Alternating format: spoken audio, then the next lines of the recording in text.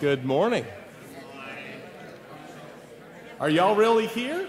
Good morning.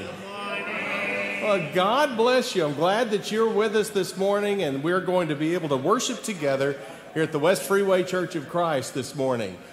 We have a lot of very important people with us. Uh, we have DJ Stucky is going to preach for us this morning. He is from Ruston, Louisiana right now, but if we can talk him into it, maybe he can be from Fort Worth. We'll work on that. Y'all be nice to him. Don't act like you do normally. Be nice. Yes, this is one of the friendliest congregations you'll ever find, DJ. They're very, very good about welcoming others. But today, the problem is we've got so many wonderful visitors. Don't let any of them get away from you without letting them know how much you love them. But I'm afraid DJ is second today in great importance. We have someone who's come to church for the first time in their life this morning. Bob and Lacey Robertson has brought Aubrey to church this morning for the first time in her life. Would you welcome them? Won't you tell them how great you're? And I want you to do more than that. They're going to bring Aubrey right up here with us. And I want you to get your singing voice on. Uh, Grandma and Grandpa, y'all come on up too. We're not just going to be glad with Mom and Dad. No, y'all come all the way up here. I want to. Y'all come all the way. No. Okay. But yeah, come on up here, Corbin, proud brother. Let's show them this is how we can have a child. Our Savior lives. Are you ready? How sweet to hold a newborn baby and feel the pride and joy he greater still, the calm assurance this child can face uncertain days because he lives. Because he lives, I can face tomorrow because he lives. All fear is gone because I know, I know he holds the future and Christ is worth the living just because he lives. Amen. Thank you for bringing that little one here. Don't forget, Billy, would you stand up? Great grandma's here today, too, and we're so glad. Thank you so much for bringing her along to worship today. We appreciate it. Amen. Amen. Bring them up in the nurture and the admonition of the Lord. No more important things to do. Let's all stand together, if you will. Uh, uh, uh, wait, wait, wait. I guess we're not standing yet. Before you stand, John, you can sit down a second. Before you stand, I want those that are with gospel sharing and our campaign workers, we want to recognize you first this morning. So if you're here for the campaign from gospel sharing, there's Jim and Donna Smith. Go ahead and stand. Stand up. The Hardys. There's Larry. These are the workers that are going to be working around in this community with us this week and helping us fish for men and women. So we're grateful for that. Now we can all, as a congregation, stand. Lead me to some soul today. Oh, teach me, Lord, just what to say. Friends of mine are lost in sin and cannot find their way. Few there are who seem to care and few there are who pray. Melt my heart and fill my life. Give me one soul today. Take the name of Jesus with you, child of sorrow and of woe. It will joy and comfort give you. Take it then wherever you go. Precious name, oh how sweet. Hope of earth and joy of heaven. Precious name, oh how sweet. Hope of earth and joy of heaven. Take the name of Jesus ever as a shield from every snare. If temptations round you gather, breathe that holy name in prayer. Oh, how sweet hope of earth and joy of heaven, precious name. Oh, how sweet hope of earth and joy of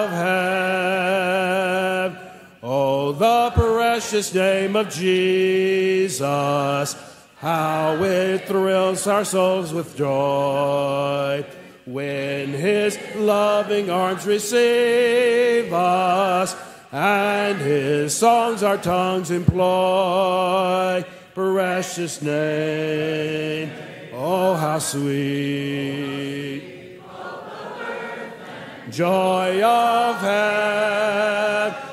precious name, oh, how sweet. Hope of earth and joy of heaven. Be seated, please. Christ for the world we sing. The world to Christ we bring with loving zeal. The poor and them that mourn, the faint and overborne, sin sick and sorrow worn, whom Christ doth heal. Christ for the world we sing. Christ we bring with fervent prayer. The wayward and the lost by restless passions tossed, redeemed at countless cost from dark despair. Christ for the world we sing. The world to Christ we bring with one accord. With us the work to share, with us reproach to dare, with us the cross to bear for Christ our Lord.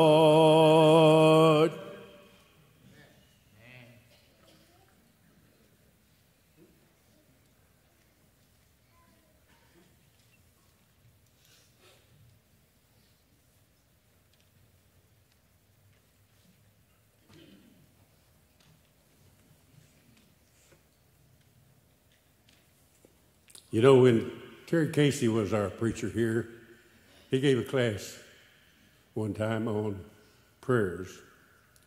And his point was that you're not up here to preach a sermon, you're up here to give a message. So keep it short and to the point, and that we will do. Let us pray. Holy Father, we gather before you today to sing songs of praise to you and hear and understand a portion of your word. We thank you, Lord, for the ultimate sacrifice that you made for us. And as your adopted children, we know that you love us and we love you. We ask now that you be with us as we go through this service and hear a portion of your word. And we just thank you for everything you've done for us and all that we know that you will do. We pray that we, when the time comes, we are able to enter through that narrow gate and be with you forever. So, with that in mind, we thank you, Lord. In Jesus' name we pray. Amen.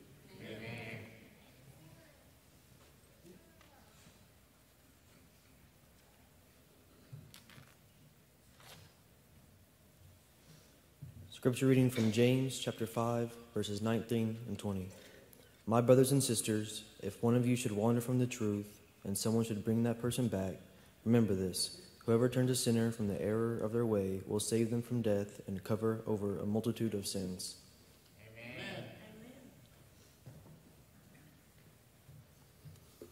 Zion's call sweetly rings over land and sea, bidding us look to realms above.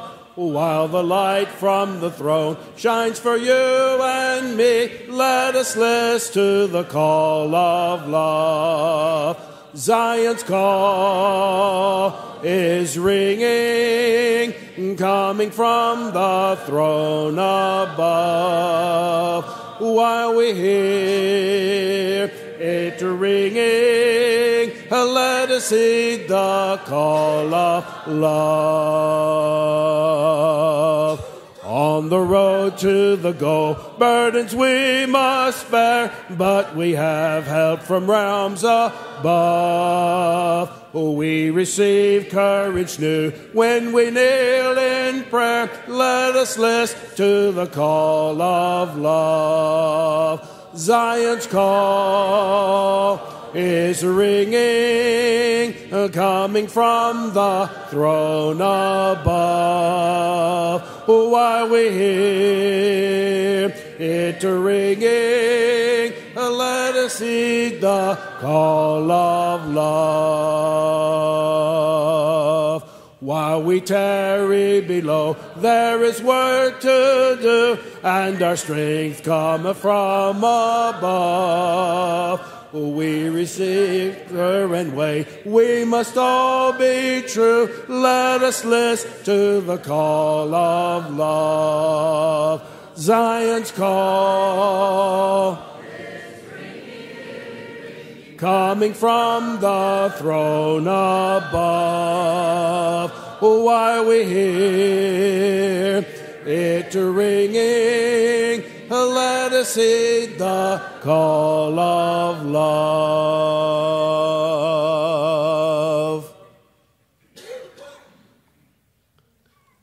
Our song now to prepare us for our communion with the Lord, rededicating our lives to Him, thinking about that time in which He was nailed to the cross to die in our stead. There was one who was willing to die in my stead, that a soul so unworthy might live. Path to the cross, he was willing to tread all the sins of my life to forgive. They are nailed to the cross, nailed to the cross. Oh, how much he was willing. With what anguish and loss to the cross, but he carried my sins with him there. I will cling to my Savior and never depart.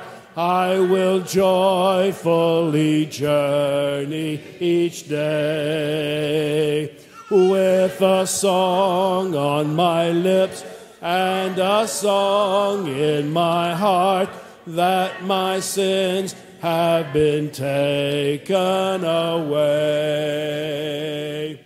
They are nailed to the cross, they are nailed to the cross. Oh, how much he was willing to bear. With what anguish and loss Jesus went to the cross, but he carried my sins with him there.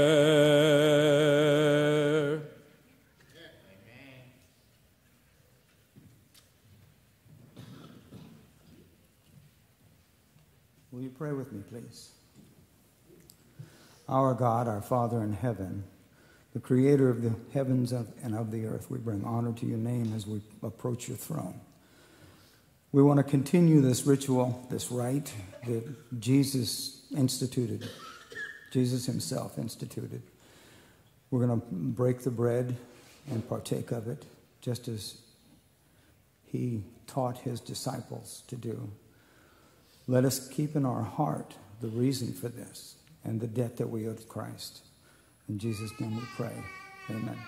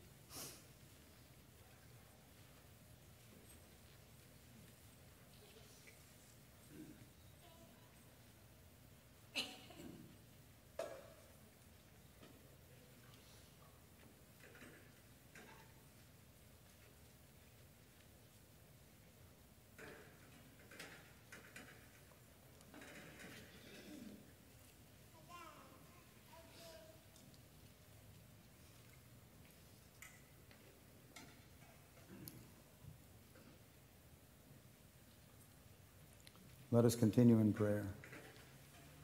Our dear God, as, as we pass this cup among us, please help us keep in our hearts, our minds, the, the blood that was shed for our sins, the perfect Lamb. We, we give thanks for this that frees us from sin. In Jesus' name we pray. Amen.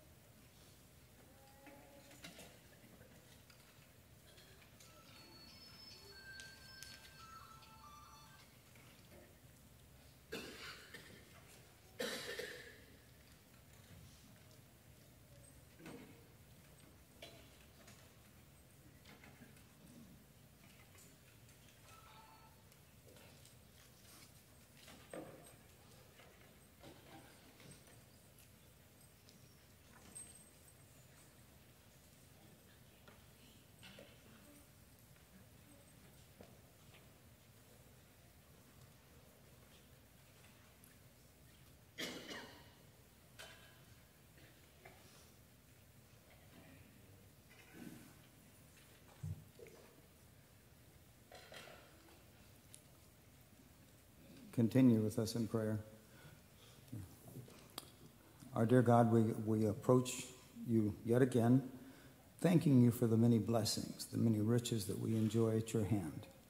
And this offering that we make now is simply a return of what you have given us, the many blessings.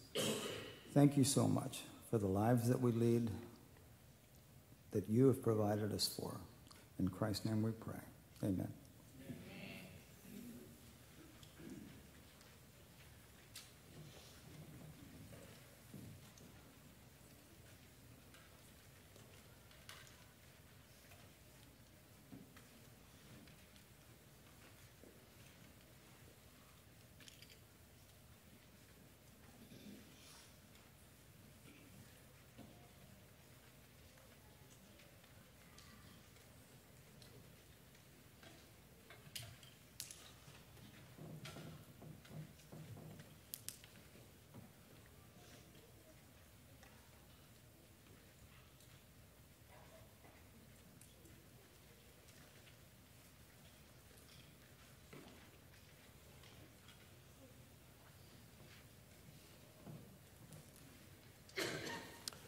All right, right now it's time for our little ones to come and show their love of, of the Lord and giving. And once they do that, Mike is not here this morning. So, do we have someone that can lead our kids back to Bible times? There you go. There's Chris Falcon. Thank you, sir. Would you stand and everyone look for Chris Falcon? He's going to take you back to Bible times as we stand again and sing our next song brightly beams our Father's mercy from his lighthouse evermore. But to us he gives the keeping of the lights along the shore. Let the lower lights be burning Send a gleam across the wave. Some poor fainting, struggling seaman, you may rescue, you may save. Trim your feeble lamp, my brother. Some poor sailor, tempest tossed, trying now to make the harbor in the darkness may be lost. Let the lower lights be burning, send a gleam across the wave. Some poor fainting, struggling seaman, you may rescue, you may save. Be seated, please. DJ, come preach the word, brother.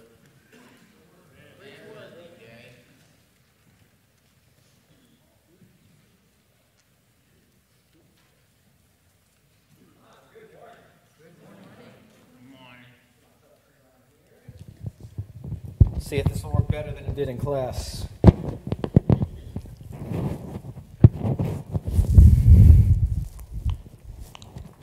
All right. Again, good morning.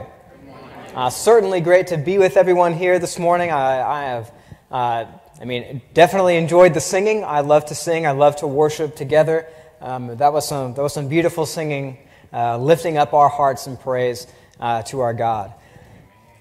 Uh, this morning, if you have your Bibles, if you would turn with me to 2 Peter chapter 1. And today we're going to be talking about spiritual growth and how we can grow or what we need to do to grow as a Christian. And I think we all understand that growth is an essential element of being a living being.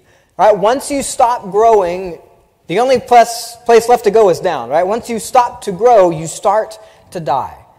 Uh, and I think this congregation understands the importance of growth. That's why we have um, our brothers and sisters here to help with the campaign. That's why uh, we have the, the home missions and school of evangelism. We understand that growth is necessary for life.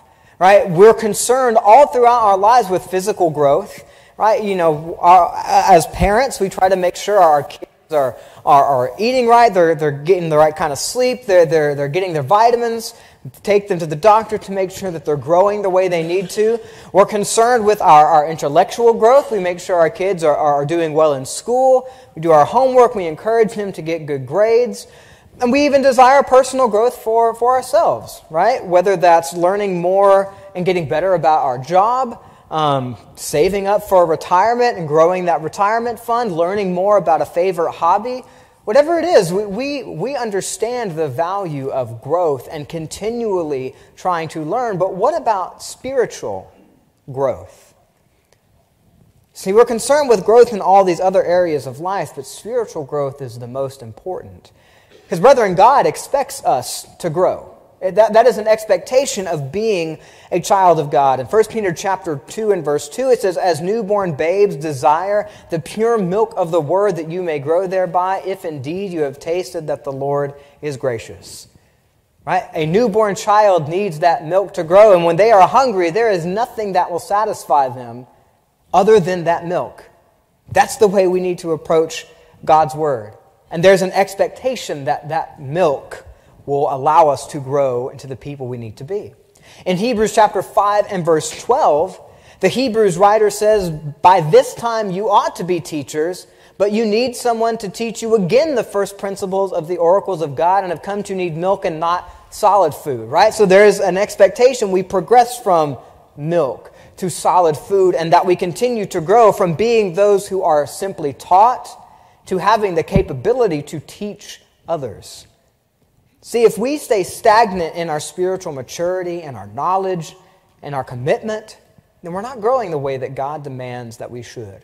And the fact of the matter is, is that God has given us everything that we need to be able to grow effectively. He, he's given us the tools, He's shown us the character, and He's promised us a reward for this spiritual growth. So if you will, let's look at our text in 2 Peter chapter 1, verses 1 through 4.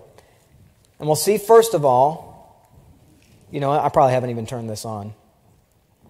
I did not. Look at that. It's amazing what happens when you turn technology and give it the power. All right. Uh, verses 1 through 4 of 2 Peter chapter 1. You, uh, you have the tools to grow spiritually. So to those who have obtained like precious faith with us by the righteousness of our God and Savior Jesus Christ, Grace and peace be multiplied to you in the knowledge of God and of Jesus our Lord, as his divine power has given us all things that pertain to life and godliness, through the knowledge of him who called us by glory and virtue, by which have been given to us exceedingly great and precious promises, that through these you may be partakers of the divine nature, having escaped the corruption that is in the world through lust. We have the tools to grow spiritually. And the first one that he mentions in this passage is that we have been given a faith of great value. He says, To those who have obtained this like precious faith, that means a faith that is of equal value and of equal honor with us. And in this context, the us refers to Peter and the apostles. Our faith is the same faith that we see with the people that we might consider as heroes of the Christian age. Our faith has the same value as theirs because it is all built up and founded on the same person, and that is Jesus. A like, precious faith that is made possible by Jesus Christ. You know, I, honoring Christ can become routine for us. Being here in this building, showing in week up and week out, that can become routine, but we have to remember the reason that we're here is because of the great love that Jesus showed for us that there is a great sacrifice and a great purpose that brings us together here. It shouldn't just be routine that, well, when I wake up on Sunday morning, I don't know where else to go. I've been doing this for all of my life. It's we are here, and we've been here for all of our life because we recognize that there is something great that brings us here. And that is this like precious faith that all of us share. But also, we've been given the knowledge of how to live Notice in verse 3, he talks about um, how God has given us all things that pertain to life and godliness. I am so thankful that God has given us a record of the things that he has, has done and said and taught so that we can know how to live. There's, there's not a question of how we are to live and what we need to do because God has revealed it all to us in His Word. In Romans chapter 1, verses 16 and 17, Paul says, I am not ashamed of the gospel of Christ, for it is the power of God to salvation to everyone who believes, to the Jew first, and also to the Greek. For in it the righteousness of God is revealed from faith to faith, as it is written, the just shall live by faith. We have been given the gospel as the power of God to salvation. We have been given everything we need to know to be righteous. God has revealed it to us. And there are many things that we can learn when we delve into the gospel, when we look at the things that God has revealed for our benefit. It says here we have all things pertaining to life and godliness, right? And we, if we break those down, we look at the idea of life, all of the things that go into just being a person on earth, living a good life, Bible covers it. Everything that has to do with godliness, which is how I please God, how I can have a good relationship with my Creator, the gospel covers it. All of those things God has revealed for us, and we need to do it God's way. You know, man tries to find his own way oftentimes, but the ideas that we try to come up with to live life, are never going to lead us down the path that God wants us to. And it's not going to lead us to a place that we want to be. Jeremiah 10:23 says, "The oh Lord, I know the way of man is not in himself, it's not in man who walks to direct his own steps." And we would be better off replacing most of the self-help books in a Barnes and Noble with Bibles. Because those are the things that's going to teach us where to go, to found our life on something that is true and real that's one of our tools for growth. It is true. And, and, and, if we didn't have this, we, we can't grow. If we don't have the right foundation, there can be no growth. You're not going to have a broken, cracked, poor foundation and then try to build something upon it. That, that's foolishness. That, that building is going to collapse. You're not going to have a garden that you know has bad soil and then plant something in it and expect to have something that is of value grow from it. We have to have a good foundation, and it starts with truth. That is our tool for how to live. We've been given a faith and great value. We've been given the knowledge of how to live. And then he brings up in verse 4 we've been given a reward to look forward to, these exceedingly great and precious promises. That living the Christian life, doesn't just have value for us here on earth. And I fully believe that living the Christian life is going to lead for the best outcomes for us on earth. Yes, there are going to be some challenges, there are going to be some people that may persecute us on the way, but, but overall, we have the best life when we follow godly principles in how we live.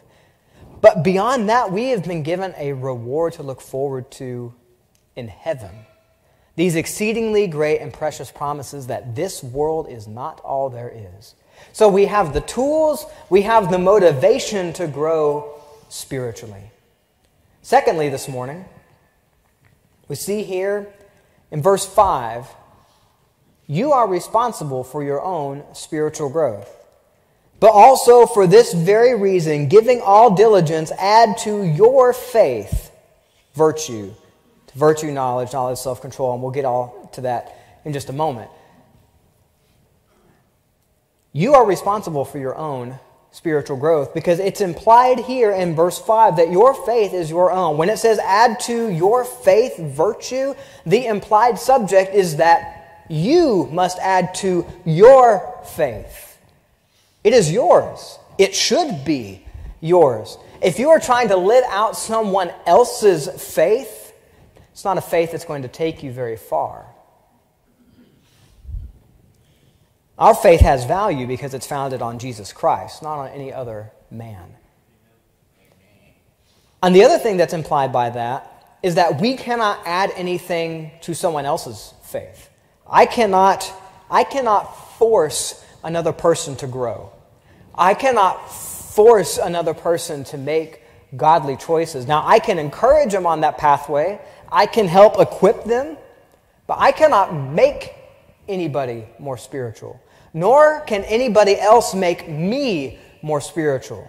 I am responsible for my faith just as much as you are responsible for your own faith. Your faith must be your own. And we see this all throughout Scripture in Philippians chapter 2 and verse 12. It says, Therefore, my beloved brethren, as you have always obeyed, not in my presence only, but much more in my absence, work out your own salvation with fear and trembling.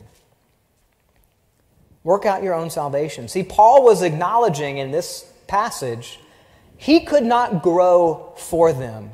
As much as he loved the Philippian brethren and he wanted what was good for them, he could not grow for them. He could not do the work of spiritual development for them. And so that means adding these things to our faith then falls to me. See, God judges each one of us individually. We, we, are not guilty by association, and I am so thankful for that. But by the same token, we also are not made righteous by association. We are not going to have a, a right relationship with God and the expectation of being with Him for eternity just because we were around holy people every week. We are going to be there because we have dedicated our life to Jesus and through Him have become a holy person and have been washed and have followed in the footsteps of Christ. That's how we have it. It's not going to happen simply because we were near other people who were doing the right thing. So, which comes down to this conclusion we are judged based on our faith and our actions. Exodus chapter 32, beginning in verse 30. So it came to pass on the next day, Moses said to the people, You have committed a great sin, so now I will go up to the Lord. Perhaps I can make atonement for your sin. Then Moses returned to the Lord and said, Oh, these people have committed a great sin and have made for themselves a God of gold. Yet now, if you will forgive their sin, but if not, I pray, blot me out of your book which you have written. And the Lord said to Moses, Whoever has sinned against me, I will blot out of my book. Right? Moses recognized this is in Exodus 32 when he had gone up on the mountain and he came down and he saw that Aaron and the people had made a golden calf to be their God. They had created an idol. And he's going to God and he says, Look, I, I, I know that these people have sinned. Please forgive them. But if you can't forgive them, blot me out of your book of life and I'll take their place. And God says, No, that's not how this works. Those who sin will be removed from my book. See, Moses could not make their problems go away, he couldn't take their place in punishment. Israel had to learn to do the things that were right. And Moses couldn't just go in and fix it for them. See, they had to do the work of learning and growing their faith. Then in 2 Corinthians chapter 5 and verse 10 says, We must all appear before the judgment seat of Christ, that each one may receive the things done in the body according to what he has done, whether good or bad. See, our individual actions are judged by God. And we only have this life to please him. So, brethren, I implore you, let's make the most of this life that we have. Let's make the faith that we have our faith. I, I don't want anybody in here to have Chris's faith. I don't want anybody in here to have DJ's faith. I want you to have your faith, and for that faith to be founded on Jesus Christ. And that you take responsibility for the things that you are doing in your life. That it's not anybody else's fault for where you are other than your actions. And that when you align your actions with Jesus, you cannot help but to grow spiritually and be what God wants you to be. You are responsible for your own spiritual growth. Thirdly, looking in verses 5 through 9, if we want to grow spiritually, then we need to develop the proper character for spiritual growth. It says, Add to your faith virtue to virtue, knowledge, to knowledge, self control, to self control, perseverance, to perseverance, godliness, to godliness, brotherly kindness, and to brotherly kindness, love. For if these things are yours and abound, you will be neither barren nor unfruitful in the knowledge of our Lord Jesus Christ. For he who lacks these things is short sighted even to blindness and forgotten that he was cleansed from his old sins. Right? Here in verses 5 through 9, we have a list of basically, if you want to grow, here are the character traits you need to develop as a person. And if you are working on developing these traits, you are going to grow. And so the first one he says, add to your faith virtue, or excuse me, having all diligence, add to your faith virtue. The root of this word diligence means to hurry or to hasten. Right? So not only does this idea of diligence have, you know, continual effort as part of it, but also urgency. There should be a sense of urgency that comes along with my spiritual growth. It should be the top priority, the most important thing in my life should be my relationship with God. Despite what else I am doing, whether that is growing in a career or growing as a student, I need to grow as a Christian in my career, grow as a Christian student. It is diligence, yes, continual effort, but also it is urgent. Because, brethren, here's, here's the thing we're not going to grow if our faith doesn't really matter to us. Right? You, you take an athlete, right? Basketball player, for instance. If they really don't care about getting good at basketball and they only show up for practice and they're only giving every, you know, 70% effort during practice, that's not going to be one of the impressive athletes, right? They're, they're not going to be one of the goats like, like Michael Jordan or LeBron or Kobe. They're not going to make it because they're not putting in the effort. There was no sense of urgency, there was no diligence in their growth. Those who really succeed are the ones that pursue their goals with tenacity those who are intentional about the things they're doing. Here's the other thing about spiritual growth is that it doesn't happen by accident. If you are growing spiritually, it's because you have made it a priority in your life to grow spiritually. And that is what we need to develop. First and foremost, let's make it a priority in our life. We need to have diligence. Secondly, he says, add to your, with all diligence, add to your faith virtue. In the Greek world, this word described just goodness or excellence of any kind, uh, applied to the qualities uh, of manhood, right? Courage and strength and skill. In this context, it's talking about excellence of moral character meaning that we need to develop the courage and strength and skill to do what is morally right, and sh- this virtue should be a natural outgrowth of our faith.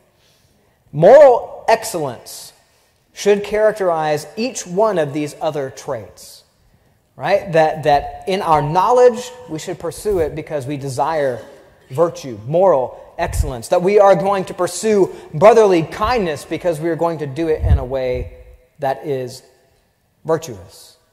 Right? Without virtue, the desire and strength to do what is right, it's hard to cultivate all these other traits of diligence, virtue, and he says, add to your faith knowledge.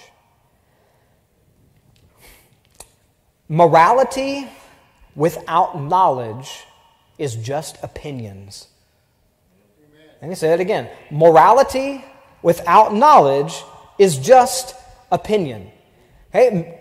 Men cannot commit acts we consider evil. Right? Men can do things that are bad, but they themselves can rationalize them as good. Right? They can, they can, within their own mind, say, oh, well, it was okay for me to steal from this person. It was okay for me to assault and to harm this person. They can do it themselves. But, it, but without knowledge, without there being a real standard, well, that's just their opinion. You saying it's wrong is just your opinion. But we're not judged by our opinions, we are judged by the standard of what God has said. 2 Timothy 2 and verse 15 says, Be diligent to present yourself approved to God, a worker who does not need to be ashamed, rightly dividing the word of truth. Hey, if we don't want to be ashamed workers, he says, you need to know what God has said. You need to be diligent, right? Urgency, hastening to learn, need to be diligent about adding this knowledge to your life, rightly dividing the word of truth.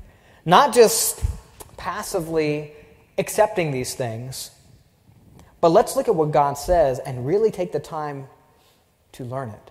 Make the time to study it and to make that knowledge part of who I am. See, because the thing about faith being based in knowledge means that my faith is not just about my feelings. It's not just how I feel about a certain thing, it's about what is true about a certain thing. See, faith has to be grounded in knowledge. Number one, because God has never asked us to believe on blind faith. In Hebrews 11 and verse 1 says, Faith is the substance of things hoped for, the evidence of things not seen. Okay? The, God has provided evidence and assurance that what he says is true by revealing to us these things in the Bible. And we can look at what God has revealed in the Bible, we can compare it to the things that we know of reality, the things that we know of history, and see that these things are true. God has not asked us simply to believe without any evidence to back it up. Our faith has to be based in knowledge. And so we equip ourselves with knowledge so that our faith can continue to grow. Add to your faith virtue, to virtue knowledge. And he says next, to knowledge, self control.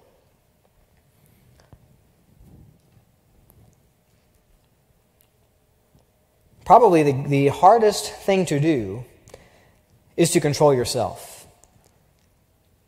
And the funny thing is, is that really yourself is the only human being that you can control. And so that is, that is a, a critical part. If we are going to grow, you know, sometimes doing the things that are necessary for growth, it's hard. It's not something that's, that's, that's pleasant to do, right? Going back to the example of an athlete waking up early and hitting the gym and staying late to practice free throws, that may not always be fun. But there has to be an element where we can deny the things that I want now because I realize there's something greater for me on the horizon. That's self control. In Luke chapter 9 and verse 23, Jesus says, If anyone desires to come after me, let him deny himself and take up his cross daily and follow me.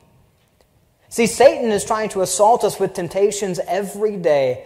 His agents are in the world persecuting us, tempting us to do evil. But the thing is, Satan only has as much power over us as we allow him to, because ultimately, I am responsible for my own temptations. When I sin, it's not because circumstances or anything else, it's because ultimately I chose to go that direction that in a moment of weakness, I lacked the self control to say no to what I wanted and to say yes to God. In James chapter 1, 14 and 15 says, Each one is tempted when he is drawn away by his own desires and enticed. Then, when desire has conceived, it gives birth to sin, and sin, when it is full grown, brings forth death. To be able to control what I want and to tell myself, hey, DJ, what you want right now, that's not what God says. And you know that what God wants is better than what you want. Like that God's outcomes is always going to be better than the way that you go. And then, probably one of my favorite verses because of the, the imagery of it Proverbs 25 28 says, Whoever has no rule over his own spirit is like a city broken down without walls. Thinking back to the ancient world, if you lived in a city that didn't have walls, that means that you didn't have any protection from an army that was coming to invade you. Right? They could just walk over the border they could destroy you. There was nothing there to keep them out. But if you lived in a city with walls, all of a sudden you had a first line of defense. You had a way to keep attackers out of your business. He says that if you don't have self control, you're like that city that's broken down, that has no walls, that has no defense. That means anything and everything that comes along that's attacking you, it's going to get through.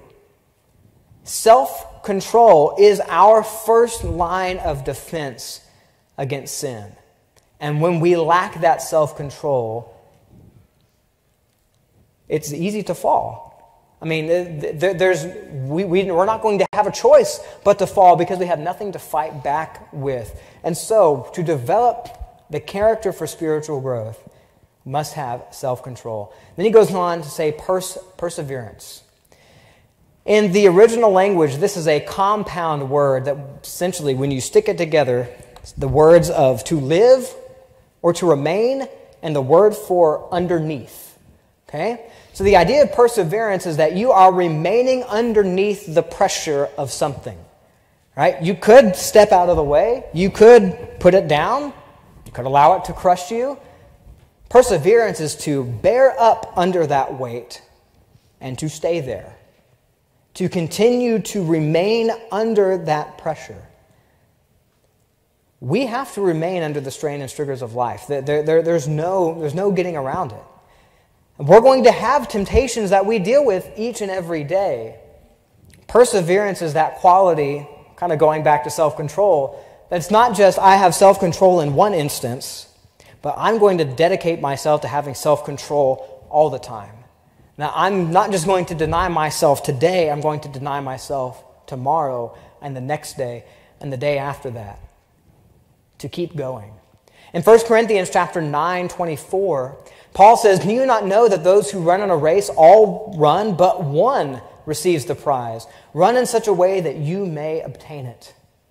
Right? A runner in a race, if, if every runner simply gave up the moment they got tired, races would be very boring. Right? No, no, no one would ever finish. But he says, You run in a way so that you can obtain the prize. That requires perseverance to be able to keep going even when it is a challenge. We run. Proverbs 24 16, another one of my favorites, says, For a righteous man may fall seven times and rise again, but the wicked shall fall by calamity. Right? The righteous may fall seven times and rise again, the wicked falls by calamity. I love that because in this context, the thing that separates the righteous from the wicked is not that the righteous never falls. Okay? We are Christians. We have been washed by the blood of Jesus Christ, but that doesn't mean that we're perfect. We are still going to make mistakes. We're not going to make the right choice every time. The difference between us and someone in the world is that when we sin, we, number one, we recognize it as sin, but then we pick ourselves back up and we keep going and we keep pursuing God says the difference is that when the wicked fall, it's calamity. They stay there. They stay down in the dirt. They stay down where it's messy and dirty and filthy. But that's not who the righteous are. Yes, the righteous, we may still fall. We may fall seven times, but the thing is, if we fall seven times, we get back up seven times. And we keep going. That is the idea of perseverance. Right? Sometimes the hardest thing to persevere through in life is our own failures. I, I, I, am, I am the poster child for beating myself up, and I'm really grateful for Dana because sometimes I, I'll be just getting myself, and she'll grab my hand and be like, DJ, it's okay. Stop. Sometimes when we fail, we are our toughest critics. And having the perseverance to say, you know what, yes, I made a mistake, but I'm not going to allow this mistake to define who I am. Rather, I'm going to define myself as righteous because I am going to continue. I'm going to keep trying. I'm going to keep persevering. I'm going to live the life that God wants me to live. Because without perseverance, we would simply quit. See, the Lord never said that the Christian life was going to be easy. I believe it's the best life, but it was never promised to be an easy life. We're all going to face difficult situations. But rather than give up when life gets heavy, right, when we're trying to stay up underneath the burdens of life and it's really weighing down on us, instead of giving up, we stay underneath so that we can get stronger. Right? James 1:23 says, "My brethren, count it all joy when you fall into various temptations, knowing that the testing of your faith produces patience." That word for patience is the same word used as perseverance here. Right? We get stronger when we deal with the rigors of life, when we deal with temptations, and when we come through, perseverance is the quality that allows us to do that day in and day out. And he says, to perseverance, godliness. This is reverence toward God. The desire to be godlike should help us to deal with the, the, struggles of life, right? We look at Jesus and all the things that he had to go through. He persevered, and he is God. Right? When we have the desire to be more like Jesus, to be more like God, that's motivation for us to continue going. Then he says, to godliness, brotherly kindness. Brotherly kindness. As our faith grows and we gain a greater appreciation of God, we should also grow to love and gain a greater appreciation for God's children. See, our spiritual growth shouldn't just look inwardly at me. A lot of growth happens when we start to look outward and think about our impact on other people. Not what can I do for me, but what can I do what can I do for you? And when I give myself to doing for others, I am going to grow. You know, part of this idea of brotherly kindness is an understanding that we don't have to go through life alone.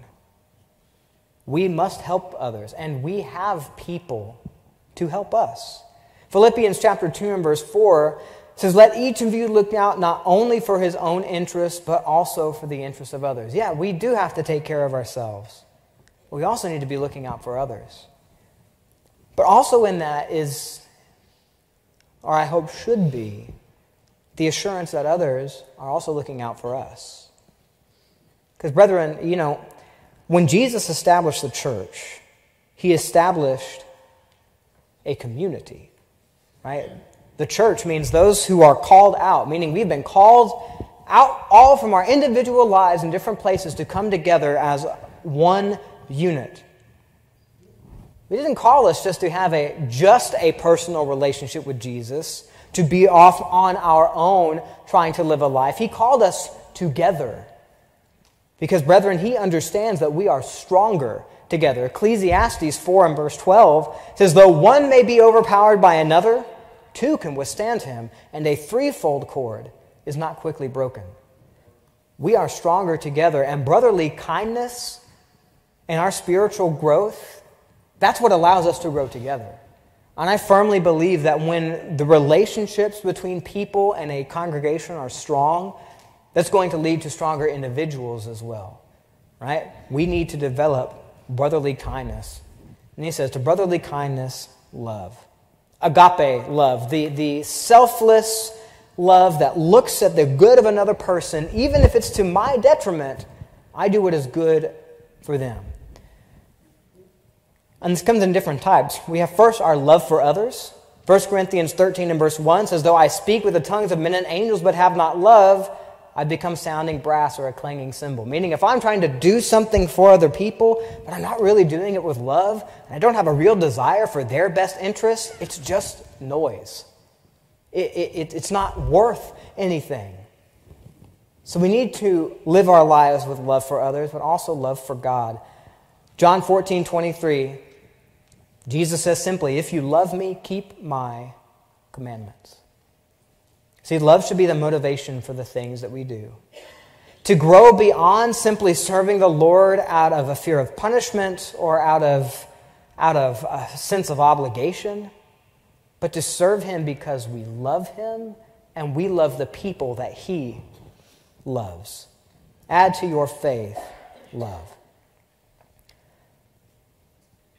And then look at verse. Uh, yeah, I missed some slides there, and that's on me. Look at verse 8, though. Now that we've considered all of these qualities, he says in verse 8 For if these things are yours and abound, you will be neither barren uh, nor unfruitful in the knowledge of Jesus Christ. The thing is, we cannot help but become better people when we commit to all of these ideals. When we try to grow in these areas, we will do better. There is going to be growth and fruit from it. But then, verse 9 right? In our journey of spiritual growth, remember where you came from. Look at verse 9. It says, For he who lacks these things is short sighted even to blindness and has forgotten that he was cleansed from his own sins.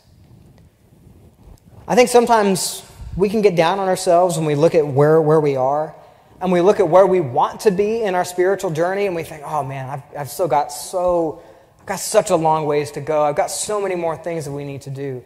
I encourage you, look back to where you were and see how far you've come. Sometimes that can be all the motivation we need to grow spiritually and to keep going is to recognize, you know, when I look back, I'm so much better than I was 10 years ago, five years ago. I have, I have grown, and I want to keep going.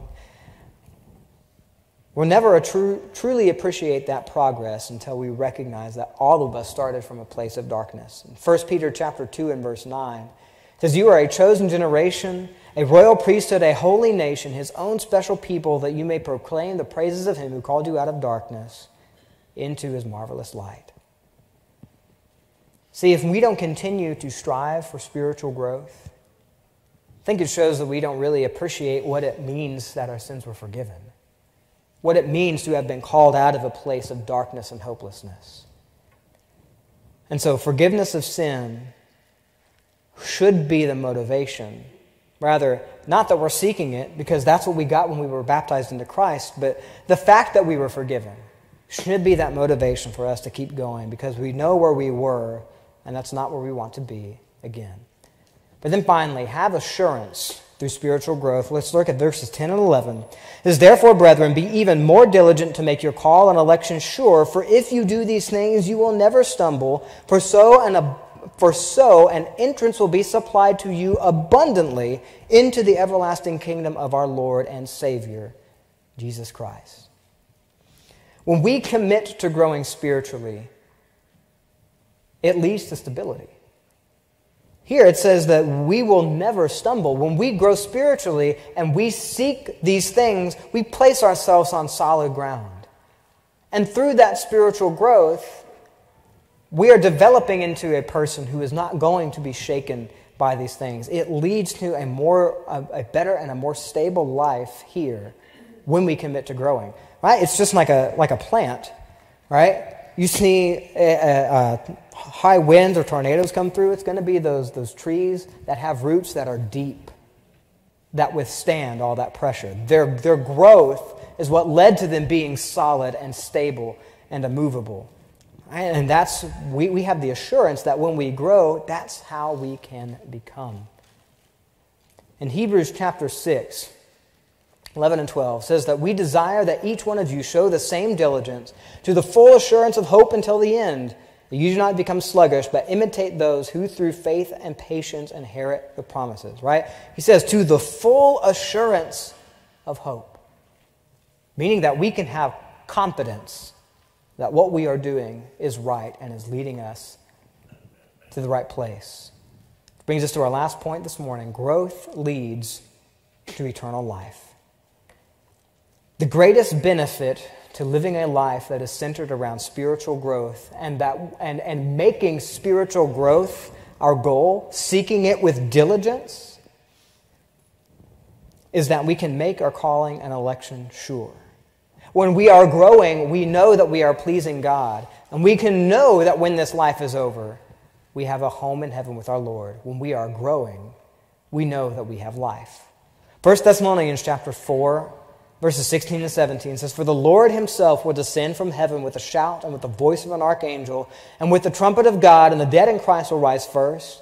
Then we who are alive and remain shall be caught up together with them in the clouds to meet the Lord in the air, and thus we shall always be with the Lord. That is the reward that awaits the faithful in Christ. At the end of our spiritual journey, when all of this earth is done, if we have been growing, that's what waits for us.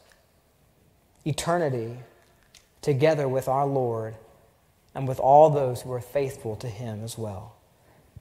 Perhaps you're here this morning and you've not yet begun that journey of spiritual growth. I'll tell you, there's no better time to start than now. There's no better time to start. You know, sometimes we we can put things off and say, oh, well, when this milestone happens in my life, maybe I'll get things back together. Or, oh, well, you know, maybe I'll wait till the new year and I'll make a New Year's resolution if things will get better. Or, oh, you know, uh, things are busy. Maybe I'll wait till my kids are out of school and it's the summertime. No, there's no better time to start improving your life than now. And there's no better improvement you can make than if you are outside of Jesus Christ to say, you know what? I know that Jesus has done great things for me. He's died for me so that I could have the hope of heaven with him. There's no greater change you could make than to be immersed in water for the forgiveness of your sins and to put Christ on and to become a Christian, to become a part of his family, and to grow together with us. Perhaps you're here and you have, you have that need. Come to the front. We'll, we'll talk to you. We'll let you know what you need to do, and you can become part of this family. For the rest of us, I hope this is an encouragement to continue to grow spiritually. That our life shouldn't just, I don't want us to be stagnant. I don't want us to stay where we are, but I want us to keep moving forward to continue growing so that we can be the people and the children of God that He wants us to be. This morning, if you're subject to the invitation, won't you come while we stand together and while we sing? What can wash away my sin?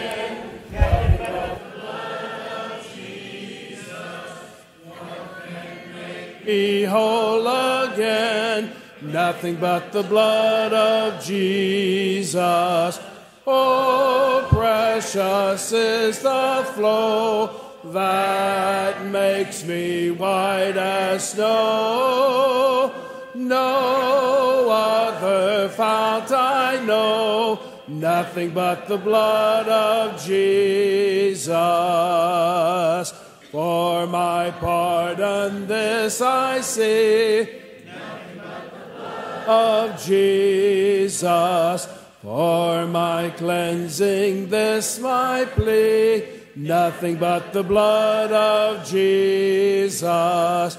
Oh, precious is the flow that makes me white as snow. No other fount I know, nothing but the blood of Jesus. Nothing can for sin atone, nothing but the blood of Jesus. Not of good that I have done, nothing but the blood of Jesus. Oh, precious is the flow that makes me white as snow. No other fount I know, nothing but the blood of Jesus. Be seated, please. John's coming down to make some announcements. We'll have our shepherd's prayer, and then we'll have one song, one verse of one song following the announcements and prayer.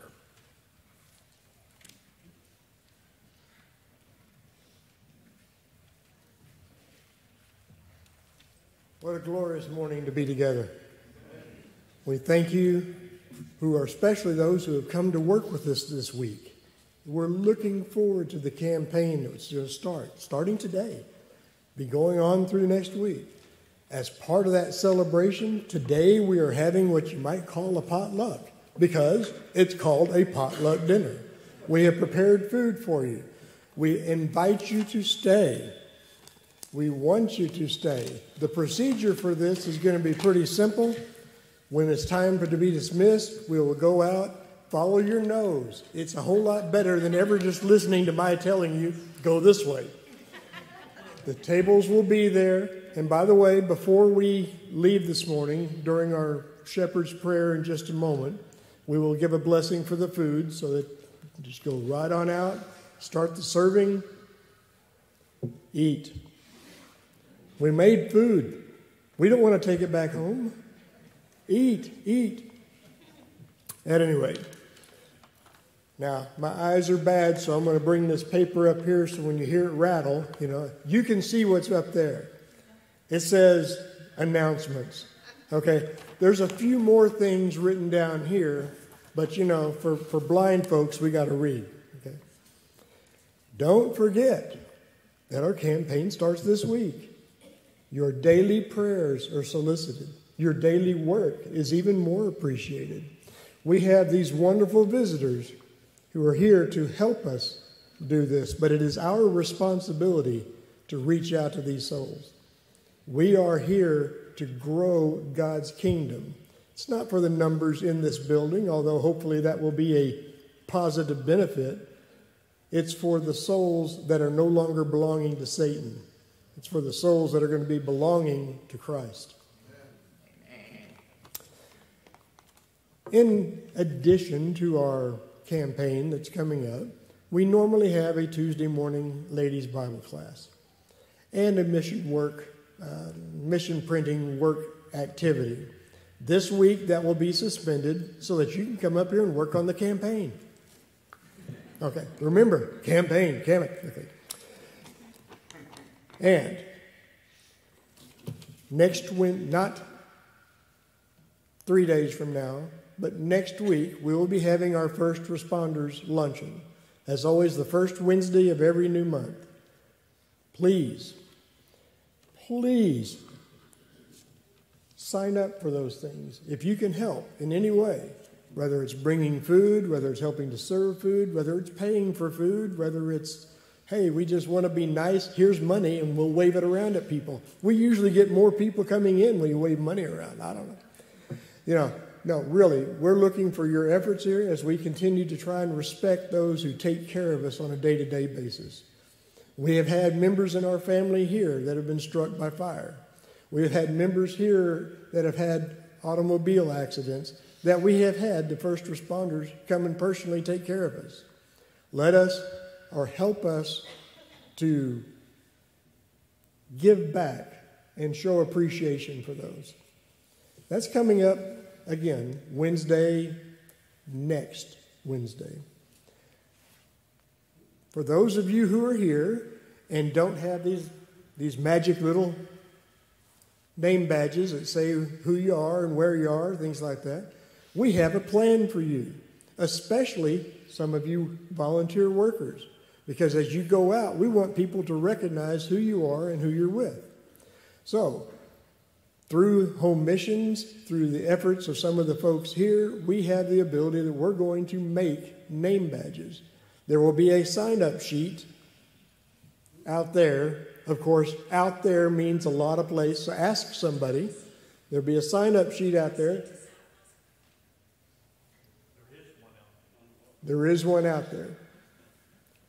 Come out there, sign up for it, and we will get a name tag made for you. It'll have a lanyard It'll be stamped in plastic and hopefully we'll have your name on it because what's the point of a name tag without? So, if you would like one, sign up. If you don't like one, sign up anyway. We still want to know who you are. You know, people like me, I don't, I don't, my memory's shot. I need to know that, uh, that, uh, that my mother-in-law out here really is named Billy Ann. You know, just because I've known her for some 50 years, it does not doesn't seek in sometimes. So the main thing is so that you can recognize the people around. If you go out and do some work with the campaign, yay, thank you very much. But it would be nice for people to be able to see who you are. Sign up. It's, it's by the way, it's free. It's okay. We don't have to pay for it. We've got it covered. Thank you so much. Uh, if you would, join me in prayer for just a moment here. Father, thank you for this day. Thank you for the family that's represented here in this building. And thank you for the future family that you're going to get us introduced to in the next week or so.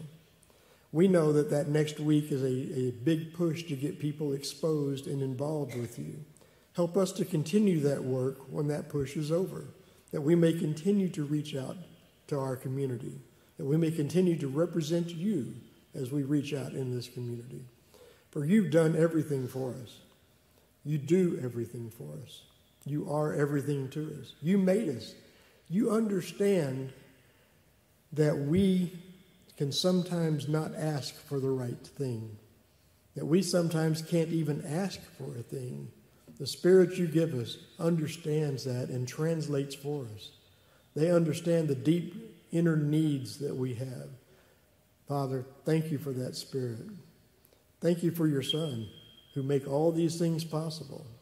And while we're on the subject of thanks, Father, thank you for the food that we're about to partake of. Thank you for the hands that prepared it and for the spirit of those who are working to serve and prepare and have prepared for us. May it be to the nourishment of our bodies that we may continue to do work for you in this community. That we may continue to represent your Son, not for our glory, Father, but for yours. We thank you again through your Son. We thank you for the life he lived, the life he sacrificed, and the life he lives now.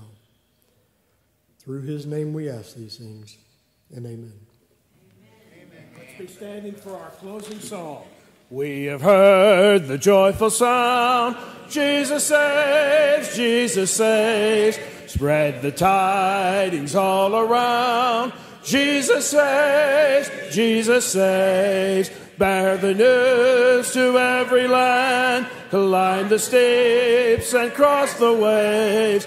Onward tis our Lord's command. Jesus saves, Jesus saves.